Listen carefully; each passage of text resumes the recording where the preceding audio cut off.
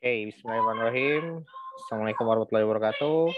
Ketemu lagi dan Pak Eci di sini. Uh, kita akan belajar kali ini mengenai penelitian akuntansi keuangan ya. Bentar. Uh, jadi penelitian akuntansi keuangan di sini yang akan kita pelajari adalah bagaimana cara mengukur uh, apa namanya intelektual human capital ya. Nah, seperti itu. Nah, di sini uh, ada beberapa kolom yang harus diisi ya. Dan di sini kita harus uh, nanti kalian akan mengisi kolom-kolom ini, ya nggak begitu banyak, nggak begitu banyak. Oke, jadi di sini kolom yang harus diisi adalah pertama uh, jumlah ya nanti kalian mengisi dua tahun ya 2020 sama 2021 jumlah shares outstanding berapa, kemudian juga total debt-nya berapa, kemudian total aset tahun uh, sekarang. Kalau aset year T ini maksudnya adalah uh, aset tahun 2020 ya kalau aset T-1 berarti aset 2020 kurang 1, 2019 gitu ya. Nah, terus eh, apa namanya? Eh, jumlah komisaris independen, kemudian kolom K jumlah seluruh komisaris ya. Nah, baru nanti yang L ini adalah komisaris independen dalam komite audit. Kemudian total komite audit berapa? Nah, kemudian di sini jumlah saham yang dimiliki oleh manajemen. Nah, baru masukkan laba komprehensif sama beban karyawan ya. Nah, nanti ini semua akan kita gunakan untuk mengukur uh, berapa ya, intellectual capital ya atau value added uh, human capital yang nanti bisa diekstraksi dari eh, kolom-kolom ini sehingga kita bisa tahu ya berapa value added dari suatu perusahaan setelah mengelola ya semuanya ini ya. Mengelola seluruh asetnya kemudian menghasilkan expense operasional dan kawan-kawan ya Oke, kita akan mulai aja cara mengisinya. Di sini nanti kalian harus mengisi, uh, misalkan di sini PIC-nya adalah Ashargani ya. Nah, di sini bisa ada pilihan drop down list, jadi bisa lihat ke bawah, silakan isi dengan nama kalian. Nah, misalkan di sini Ashargani, nah tahunnya 2020, maka yang harus kalian lakukan untuk mencari kolom ini adalah pertama, buka uh, situs Bursa Efek. Jadi di sini tidak menggunakan situs yang lain, cukup situs Bursa Efek ya di idx.co.id ya di sini. Terus ada perusahaan tercatat laporan keuangan ya. Atau kalian bisa lihat di sini data pasar ya.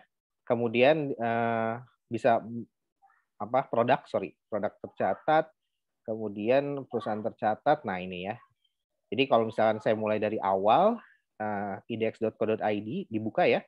Nah terus nanti di sini ada uh, ada ya sel-sel di sini gitu ya yang bisa kalian tempatkan kursor kalian di atas sel-sel ini gitu ya. Nah, buka yang perusahaan tercatat ya, kemudian uh, masukkan yang row, uh, pencet yang row laporan keuangan dan tahunan ya.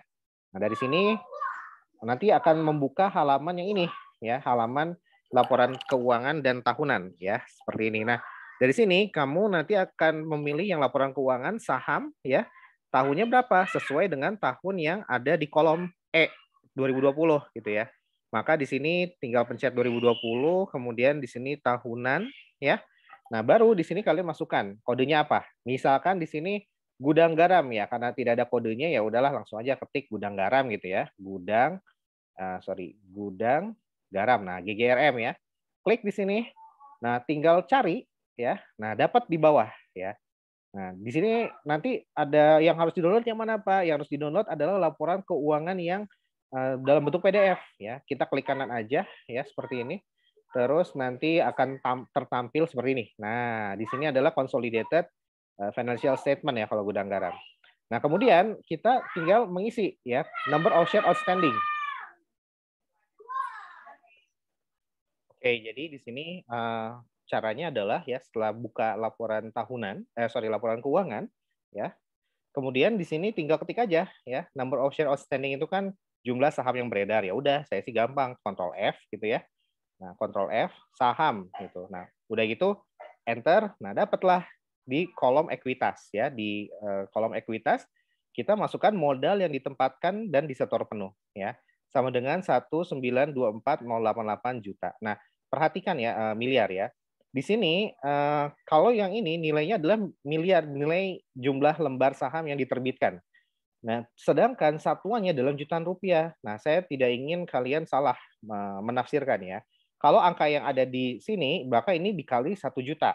Tapi kalau untuk angka yang 1924 tidak perlu lagi dikali 1 juta ya. Tidak perlu lagi kali 1000 karena ini udah angka asli. Sehingga kita bisa tulis 1924088, tulis ketik manual aja ya. Saat, uh, atau uh, kalau mau di Ctrl C gitu ya, tinggal di blok. Nah, ingat ini semua format Excel-nya sudah dalam bentuk American style. Jadi kalau American style itu uh, titik itu kalau untuk koma ya. Jadi 1,2 maka 1.2 gitu ya. Nah, maka seperti ini bentuknya ya. Nah, jadi kalau koma itu hanya digunakan untuk memisahkan desimal ya. Jutaan, ribuan dan sebagainya. Nah, harus disetting seperti itu dulu ya Excel kalian. Nah ini tinggal Ctrl V ya. Ingat yang di Ctrl V itu ketika di kolom ini nih ya FX ya. Nah set Ctrl V. Nah jangan langsung Enter ya. Kalian wajib ngapus titiknya dulu. Titiknya dihapus, titiknya juga dihapus, titiknya dihapus, Enter baru. Nah agar formanya seperti ini ya. Nah seperti itu. Nah kemudian total depth-nya gimana? Total depth-nya berarti ya udah langsung aja uh, lihat di kolom liabilitas ya Total debt-nya adalah um, nah ini ya tahun lihat dulu deh 2020 ya berarti 19688. Eh, nah, ini tinggal di blok ya. Perhatikan dalamnya ya. Dalam jutaan rupiah. Nah, maka di sini tinggal dikalikan saja ya. Di sini FX ya. Ingat di sini posisinya kursor kalian letakkan di sini klik. Kemudian Ctrl V. Nah, hapus dulu jangan di enter ya. Hapus dulu komanya. Nah, setelah itu baru kasih tanda sama dengan di depan. Nah, baru karena dalam jutaan tinggal dikali ya satu juta. Satu tiganya uh, nolnya ada enam kali. Tuh dua tiga empat lima enam sama dengan berapa? Nah sekian ya. Nah di sini saya sengaja menampilkan angka yang atas. Agar apa? Agar saya mengecek kerjaan kalian benar atau tidak.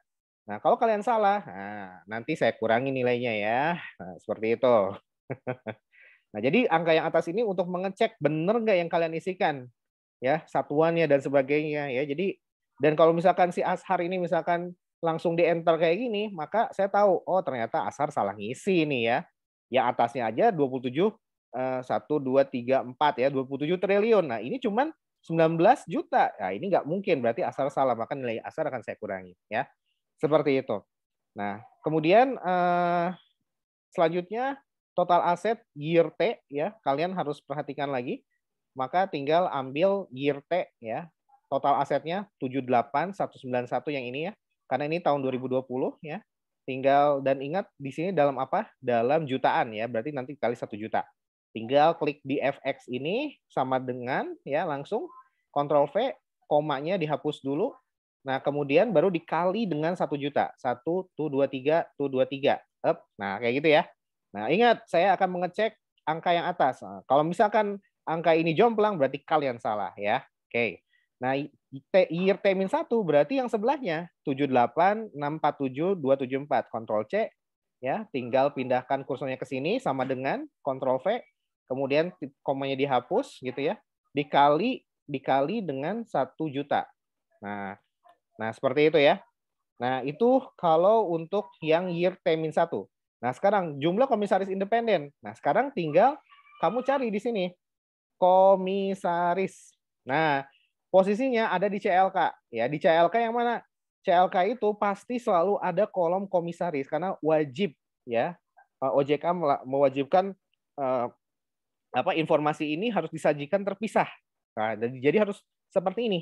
Nah, ini wajib ada oleh OJK. Kalau nggak ada berarti perusahaan sudah melanggar ketentuan OJK. Ya udah, kalau nggak ada ya tinggal bilang aja nggak ada.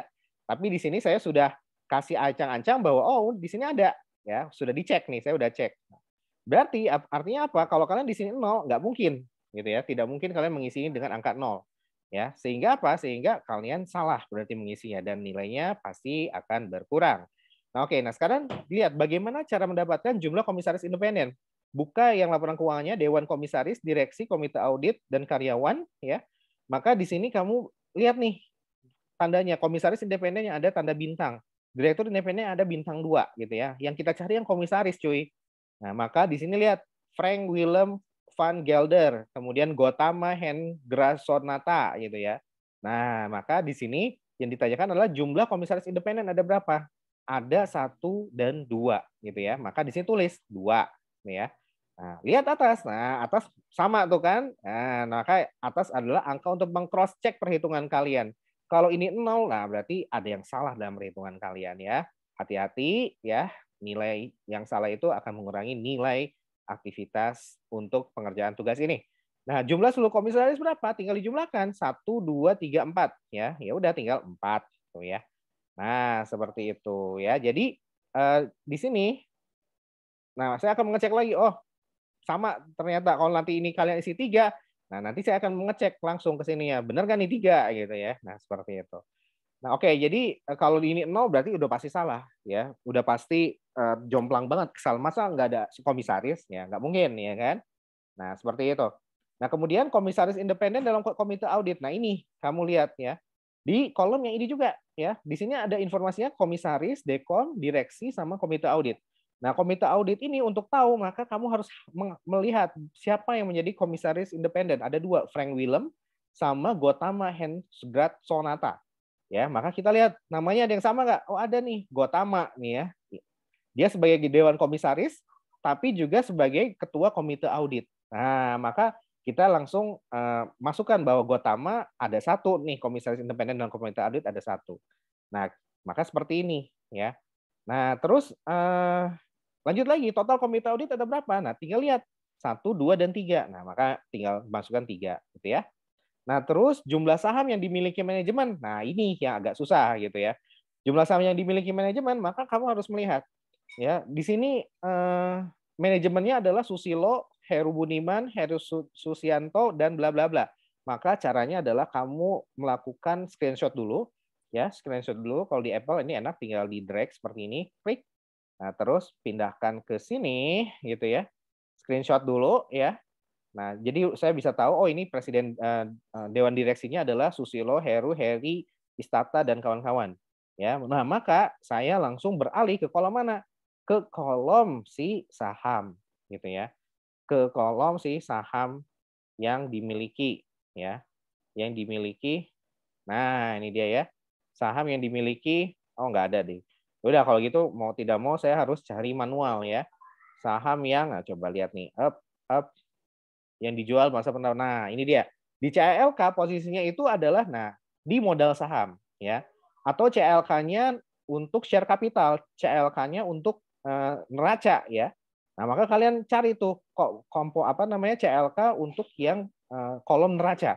Nah, tinggal kalian lihat modal saham atau share capital ya. Kalau nggak hafal bahasa Indonesia-nya, tinggal lihat bahasa Inggris yang sebelah share capital. Oh, ini modal saham. Nah, di sini ada nih pemegang sahamnya. Juni, Susilo, Luka, Surya, PT, PT gitu ya. Nah, yang kita lihat adalah yang di sini direksinya. Direksinya kan nggak ada bukan bukan perusahaan tapi orang ya, orang makhluk bukan jin gitu ya. Nah, maka di sini Susilo, Heru, Heri. Nah, di sini ada nggak? Nah, oh ada Susilo Wono Wijoyo. Sama nggak? Oh sama. Satu berarti ada. Kemudian Juni Lukas. Nah, berarti inilah yang akan uh, menjadi fokus kita gitu ya. Karena yang ini kan PT nggak kita lihat gitu ya. Nah, ini nih pemegang saham ini ya. Ini jumlah pemegang saham yang uh, apa namanya dimiliki oleh si manajemen ya. Berarti dari tiga orang ini, Juni, Susilo, Lukas, yang ada adalah apa? Yang ada adalah Susilo doang tuh, Susilo Wono Wijoyo ya maka kita isikan ya. Kita isikan. Nih gitu ya. Isinya berapa? Jumlah saham yang dimiliki manajemen ya. Nah, maka di sini sama dengan ya uh, Susilo Wonowijoyo 1709685 ini kontrol C gitu ya. Kemudian di atas nah kontrol V, nah hapus dulu koma komanya gitu ya. Nah, tinggal di enter. Nah, seperti itu ya. Nah, ini yang dimasukkan adalah di sini saya kasih tanda tidak termasuk jumlah kepemilikan saham oleh komisaris ya. Yang dimasukkan hanya jumlah saham yang dimiliki oleh si manajemen saja ya. Nah, di sini uh, sebetulnya ada dua mazhab ya, bisa komisaris, bisa manajemen, tapi ya sudahlah gitu ya. Uh, kalau saya sih tanggunglah mendingan sekalian aja dan manajemen eh dengan si komisarisnya juga ya. Nah, ya udah kalau gitu kita lihat juga komisarisnya siapa nih? Komisarisnya adalah kita lihat lagi ke atas ya. Uh, apa namanya di sini? Mana ya? Nah, kita nah ini dia ya. Nah, komisaris berarti ada Juni Setiawati, Lukas Mulia dan kawan-kawan ya. Ini kita coba uh, kontrol apa namanya? Kita copy juga ini ya. Informasi ini ya. Nah, ini kayak gini deh ya. Terus uh, pindahkan ke bawah sini. Set gitu ya. Nah, dari sini barulah oh Juni Setiawati komisaris, kemudian juga Lukas dan kawan-kawan. Nah, ini kita lihat lagi ke kolom yang CLK yang paling bawah ya. Nah, yang ini nih, mana ya tadi teh? Um, Agio saham. Nah, ini ya. Juni Susilo Lukas ya. Kita lihat nih, Susilo ada ya di direksi. Juni, oh preskom berarti. Oh Lukas, oh ternyata komisaris. Nah berarti ada tiga ya. Maka caranya gimana Pak? Ya udah berarti uh, ini ya ini kita copy ya kemudian kita tambahkan ke kolom yang ada di sini nah seperti ini ya berarti ini tinggal ditambah dengan nah seperti ini ya set set. Ya ditambah dengan uh, berapa? 5.600 ya. Oke yang ini kan 5.600 ya. 11 231 1709 5.600 nah perhatikan ya. Tidak semua pemegang saham individu ini menjabat sebagai komisaris dan direksi atau komite audit. Ini kebetulan aja ya, tiga-tiganya ini memiliki posisi di uh, struktur komisaris, direksi sama atau komite audit, tapi dia munculnya di komisaris sama direksi saja ya. Juni dan Lukas di komisaris, Susilo di direksi ya. Nah, maka kalian harus perhatikan bahwa jangan sampai kalian mal ini dijumlahkan terus-menerus gitu ya. Tidak, tidak seperti itu ya tapi harus cermat ya kamu harus eh, lihat dulu susunan pemegang uh, susunan komisaris direksi dan komite audit di tahun tersebut terus lihat juga di CLK-nya di modal saham atau share capital. Nah, di sini lihat nih, oh ternyata memang uh, semuanya ada di struktur komisaris atau direksi atau komite audit, maka semua yang 11 juta, 1,7 sama 5.600 ini kita masukkan ya ke dalam perhitungan yang ada di kolom ini ya, yang ada di kolom jumlah saham yang dimiliki manajemen. Nah, seperti itu ya. Makanya tinggal ditambahkan dengan 5.600 ya seperti itu. Nah, eh, kemudian ya laba komprehensif sekarang. Nah, kalau laba komprehensif ini ya udah tinggal uh, ketik aja Ctrl V, Ctrl F laba gitu ya. Nah, dapat deh ya seperti ini. Nah, di sini kita lihat jumlah penghasilan komprehensif ya. Ini tahun 2020 ya. Berarti eh, mana ini teh. Nah, 7591709. Lihat lagi dalam apa? Oh, dalam jutaan ya. Berarti nanti 7,5 juta ini dikali 1 juta. Nah, oke dari sini ingat sama dengan Ctrl V komanya dihapus ya, baru dikali dengan 1 juta, tuh 23 ya. Nah, dapatlah sekian ya. Nah, nah seperti ini. Nah, kemudian kita langsung beban karyawan. Nah, beban karyawan perhatikan ini diambil dari laporan arus kas ya. Oke, nah kita tinggal karyawan. Nah, karyawan tuh pembayaran kas pada karyawan, arus kas dari aktivitas operasi. Ya, kalian lihat nih 2020 adalah 3760815. Ini kopi ya dan ingat dalam jutaan berarti ini nanti dikali satu juta. Ya, tinggal sama dengan ya, Ctrl V, ingat dihapus dulu komanya ya. Nah, tinggal dikali dengan satu juta. Tergantung ya, tidak semuanya satu juta ya, tergantung perusahaannya ya. Bisa seribuan, bisa jutaan gitu ya. Nah, seperti itu. Nah, setelah seperti ini gimana Pak? Setelah seperti ini maka tugas kalian kelar ya. Oke, nah sekarang bagaimana dengan yang 2021 Pak? Nah, yang 2021 ini ini adalah kuartal sorry ya, ini kuartal 3 ya. Mohon maaf nih, ini saya masih uh, salah menyaji ini ya. Uh, tadi di kelas eh di uh, di WhatsApp grup salah menginformasikan ya bahwa ini 2021 karena ada yang keluar, ada yang belum keluar ya. Yang udah pasti keluar yang Q3-nya ya. Maka kita ambil 2021 Q3 ya. Nah kemudian gimana di sini? Ya udah tinggal sama dengan langkah yang sama ya. Dengan kita memasukkan laporan uh, tahunan tahun 2020 maka kita buka klik di sini ya di situs bursa efek ya uh, di sini gudang garam 2021 kemudian di sini triwulan 3 cari ya dapat seperti ini maka kalian uh, bisa melihat di financial statement 2021 yang PDF ya, kita klik klik kanan. Nah, kemudian kita lihat nah seperti ini. Oh, malah seperti ini ya. Nah, ini apa namanya XBRL-nya jadi nggak usah kita ambil. Yang kita ambil adalah yang mana ya? Uh, laporan keuangan September. Nah, jadi kalian buka aja satu-satu ya. Yang bentuknya sama dengan laporan tahunannya, Nah, itu yang kita ambil eh yang yang bentuknya sama dengan laporan keuangan tahunannya, maka itu yang kita ambil ya. Nah, ini kan sama nih ya, ada aset dan kawan-kawan. Ya udah ini yang kita ambil ya. Per 30 September 2021. Nah, oke. Okay. Uh, yang ini yang mana Pak? Ya, 2021 ya, seperti ini. Nah, terus kita langsung masukkan gitu ya, teman-teman semua. Nah, di sini masukkan dari seperti hal yang tadi, cuman ah ini tidak bisa di control F ya. ini semuanya masih uh, sifatnya adalah uh, image ya. Udah kalau gitu kalian harus scroll uh, dengan tangan kalian sendiri ya. Ya nggak apa-apa lah ya. Nah kita buka kolom ekuitas di neraca ya. Modal ditempatkan di store penuh 1924088 ya. Nah ketik aja satu ya satu sembilan dua empat kosong delapan delapan tuh dua tiga gitu ya nah, satu sembilan dua empat kosong delapan delapan ribu ya satu miliar sembilan dua empat eh, ribu nah seperti ini ya Kemudian total debtnya berapa? Total debtnya berarti kita ambil yang atasnya gitu ya. Nah seperti ini total debtnya adalah hmm, 255311094 dan ini dalam jutaan ya. Nah berarti 255531094 maka ketik aja 255311094 dikali dengan 1 juta tuh 23 ya jangan lupa. Nah 25 juta ya 25 triliun ya. Nah, kurang lebih seperti inilah, nggak jauh beda ya. Seperti itu. Uh, 255311094, 255311094, oke udah betul.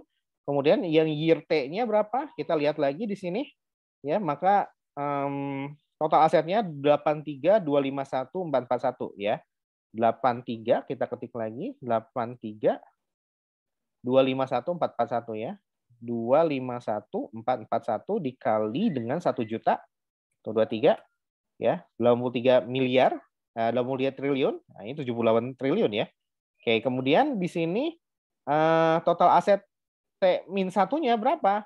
Ya tinggal sama dengan ya, sama dengan yang atas. Nah, seperti ini ya. Nah, 78.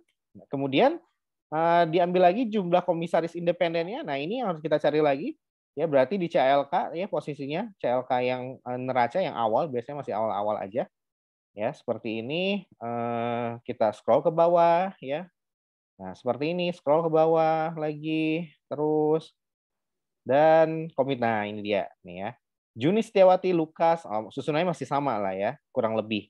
Nah tapi bisa jadi ada perubahan ya makanya kalian harus hati-hati juga ya Oke kalau gitu ini saya dikopikan dulu gitu biar nggak um, bingung nah ini untuk yang 2021-nya saya pindahin ke sini dulu gitu ya Nah, oke, okay. kemudian jumlah komisaris independen berapa? Ya, tinggal buka di bawah gitu ya. Komisaris independennya berarti ada satu dua ya. Ada dua, kemudian eh, mana tadi teh? Nah, ada dua, kemudian di sini jumlah seluruh komisarisnya ada empat ya tadi ya. Kemudian, nah satu, dua, tiga, empat komisaris independen dalam komite audit, Gotama lagi ya. Gotama komisaris kan Juni, Lukas, Frank Gotama ya. Kemudian di sini Gotama, Tony, Cetriana. Oke, Gotama berarti ya. Nah, maka di sini ada satu ya si Gotama doang ya. Uh, kemudian uh, total komite auditnya ada empat ya satu dua tiga oh tiga deh satu dua tiga kita masukkan lagi di sini tiga kemudian jumlah saham yang dimiliki manajemen gimana ya kita buka lagi ke bawah lagi berarti ya kita ambil yang paling bawah nih ya karena ini tidak bisa kontrol V maka ya mau nggak mau ya kita coba scroll ke bawah Ya, di sini terus sampai ke kolom yang ekuitas ya. Ini kan masih aset, utang, oke. Okay. Kemudian eh, modal saham. Nah, ini dia ya. Nah, di sini kita lihat lagi uh, Juni Susilo Lukas ya, 11 231 645 ya. Ya udah kita masukkan berarti 11 231 ya. Sama dengan 11 231 645 ditambah ya. 11 231 645 1709 685 1709685 ya. Kemudian eh, 5600 ya, 5600. Oke. Okay? Nah, hasilnya sekian. Kemudian eh, laba komersinya berapa? Nah, kita lihat ke atas. Jadi bolak-balik nih ya. Oke ya, nggak apa-apa lah ya. Namanya juga riset ya. Jadi kita harus bersabar tentunya. Oke, kita lihat lagi ke atas. Dapat yang namanya laba komprehensif ya. Maka di sini um, Nah, 4.20508 ya. 4.20508 ya. 4.20508 ya. Oke, dalam apa nih? Dalam jutaan juga ya. 4.20508. Berarti sama dengan 4.20508 dikali dikali dengan 1 juta. 1 tuh 23 tuh 23 sama dengan sekian ya. Nah, terus beban karyawan berapa? Ingat arus kas operasional ya. Cari di laporan arus kas ya di sini ada pembayaran kepada karyawan. Nah, di sini ya pembayaran kas kepada karyawan ini beban gaji berarti 3059 329 dan dalam jutaan dikali 1 juta. 3059 sama dengan 3059 berapa tuh tadi? 329-nya 3059 3059 329 dikali dengan 1 juta. 23 itu 23. Nah, hub kayak gini. Nah, oke, okay, seperti ini caranya ya, teman-teman semua. Jadi nanti kalian uh, harus membuka laporan keuangan ya, yang ada uh, harus manual ya. Saya menginginkan manual ya. Jadi kamu buka situs IDX, kemudian cari laporan keuangan 2020 yang tahunan dan 2021 yang triwulan 3. Setelah itu dibuka, kemudian dicari seperti yang sudah saya jelaskan sebelumnya. Oke, itu aja yang bisa saya jelaskan. Semoga bisa bermanfaat. Assalamualaikum warahmatullahi wabarakatuh.